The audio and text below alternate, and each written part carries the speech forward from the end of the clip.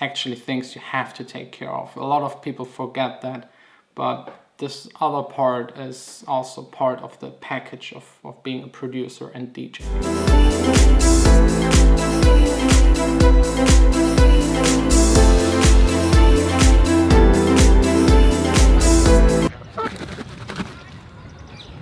Saturday noon, I'm just back from grocery shopping. Didn't have any breakfast yet. Vanessa also didn't have any breakfast. And without breakfast on a weekend, we're both a little bit grumpy. So let's first make something to eat and then start into the day. You know what, I first of all need something, something nice to drink. And no, this is not beer, that's um, Coke with orange lemonade. I really hate like doing work in the household, except for cooking sometimes. But if there's one thing I really love, it's just, it's just filling up things. I don't know why, but it just feels so satisfying.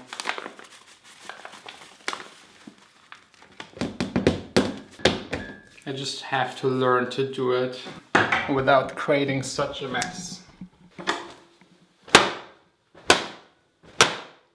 It's clean again. Not for Vanessa standards, but for me that's that's fine. Okay guys, I have the final three winners all figured out of the Dawning Remix contest but today I won't announce them. There is still one more thing that I have to to check with the label because I'd love to have three releases but I can't decide it myself. I really have to, to ask the label because at the beginning we said one winner and one release but I think there were so many good tracks and I really narrowed them down to just three. I think these three people deserve to have their tracks released. And as soon as I figure that out, I will make a special video and in the video announce the three winners. It's definitely time for another segment, a segment that I haven't done in a while, and that is track submits.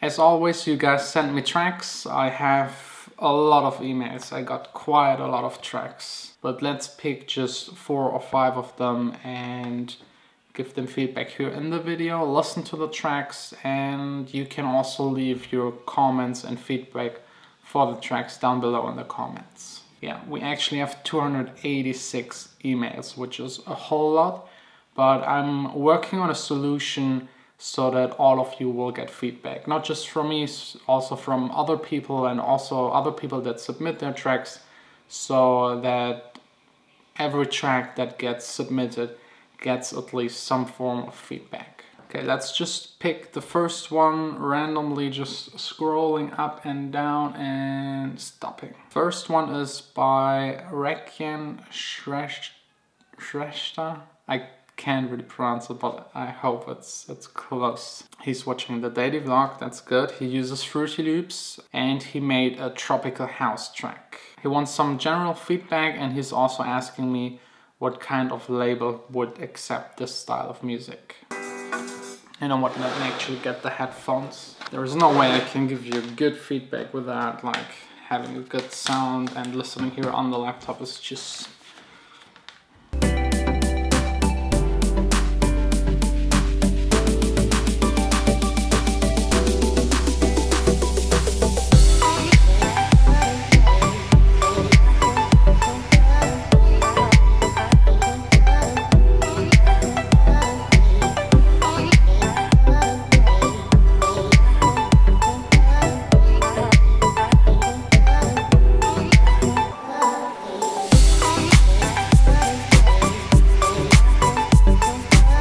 track is quite cool. It's like a, a really a tropical house track. The mixing is okay. I think there's something going wrong with the bass. It sounds way too stereo and the low frequencies, So please check that and have everything below 300 hertz in mono. That's usually the way to go. There are of course some exceptions, but you can't do anything wrong with it.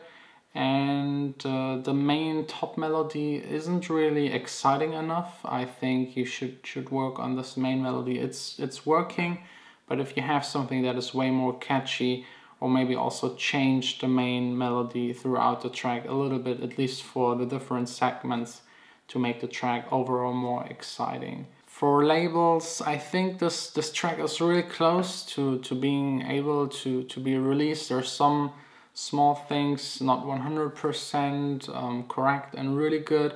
So I might just give it maybe three, four more hours or maybe another day just to work on the track, try to improve it or just make the next one, make it better than this one. And I think you're pretty close. You should just keep on doing what you do that's definitely the right direction. There are no real big major concerns. Just make everything a little better and altogether you will definitely be there really soon. I think it's those really low chord sounds that are way to, to stereo in the low frequencies and the bass, the low bass, the sub bass could be a bit louder. It's mostly just kick and I think this track would groove better if the kick would be a little bit quieter, the bass a little bit louder, because now it's just like the kick and that also makes the track a little bit more boring than it actually needs to be. This track is not um, anymore on SoundCloud. Please also don't remove the tracks. Phone call. Have to do that later. I got another one, it's by Ivan. He is taking part in the track submits for the first time. He started last year with producing and he'd like to know what he should change in his tracks and his main problem is figuring out what to add to the track especially in the break part. okay, first of all, never call one of your tracks no idea. this just throws the people immediately off. The track is way too short, it's really just like a demo or a, a, loop. And I mean, you, you have the groove going, the drums, they are kind of okay.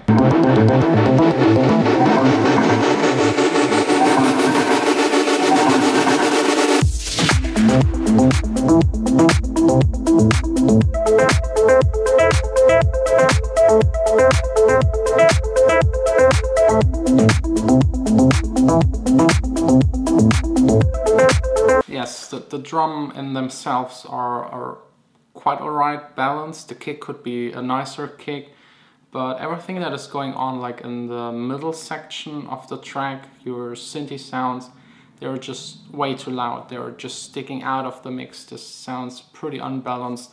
So I would su suggest you to lower this, this main sound in the middle.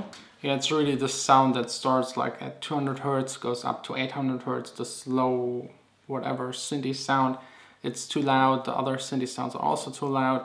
Just pull them down by 5 or 6 dBs and try to make them more interesting. They are pretty, they have only like low frequencies, like the top part is missing, the one that sounds crispy, that has the attack in it, and without it, it all just sounds a little bit dull. So maybe try working on that next and also trying to work on like making a full track that is at least like three minutes long have an arrangement with one or two breaks and and work on that but i mean for a year that's that's already all right it really takes quite some time until you learn to make tracks finish tracks and then the next step is to learn how to get the mixing right also improving your melodic stuff and making the tracks catchier or more memorable it's just a long way. Let's just do the next one. It's by Luigi and he's been producing for four years and he thinks he can't improve anymore and if I have any tips.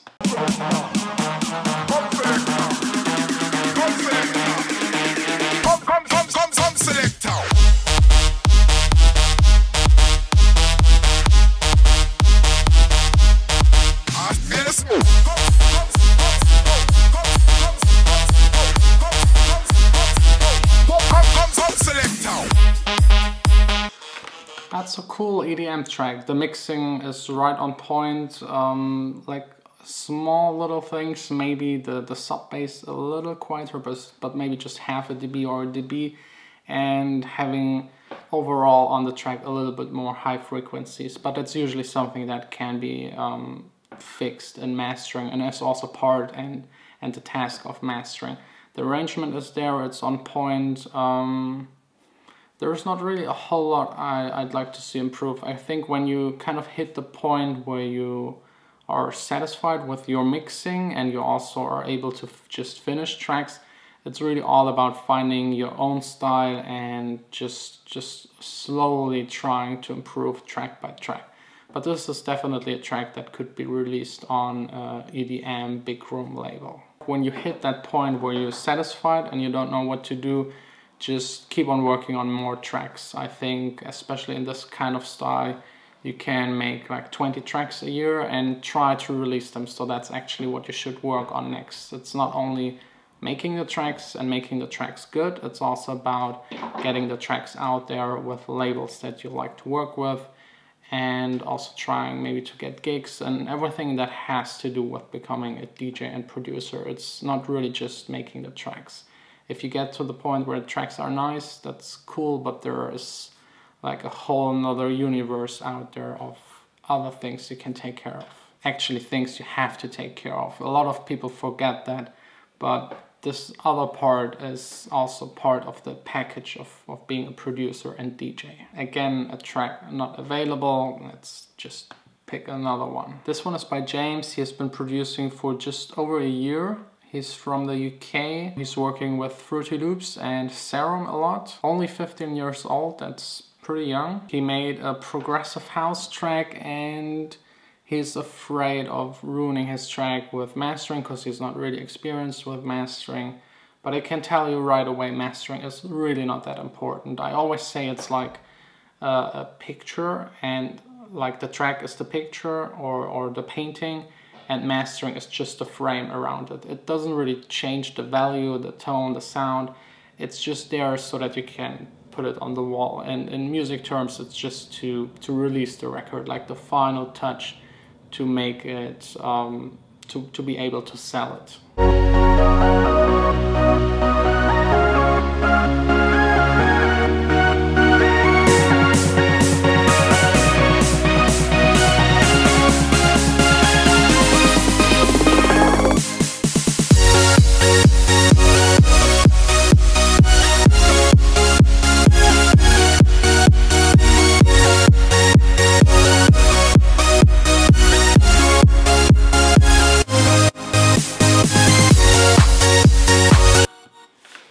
Kick and sub bass are right on point, which is actually the hardest to, to get right.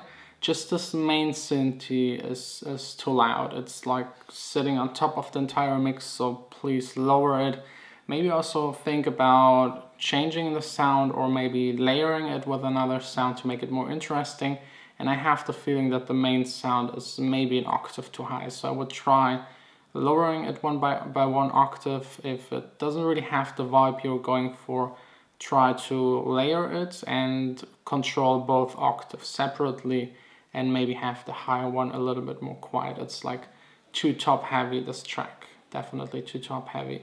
But other than that, a really cool track and really solid for just being a producer for one year. So that's pretty much it with the track submits. We had four really cool tracks and if you want to send me your tracks the the email is down below I will once in a while do like a track submit but as I told you at the beginning of the video I have like a new method coming up really soon where you can submit your tracks and also other people can listen to them and you can give each other feedback. I think now it's time to just enjoy a little bit of Netflix, hope that the rain ends and yeah, I don't know, just a chilled, relaxed Saturday. I think after last week, I really deserved it. I'm already preparing the dinner for tonight, just some kraut, very German. That's probably the first thing people think of Germany. It's really tasty, I like it. You just have to prepare it in the right way. And that's probably not so interesting for you.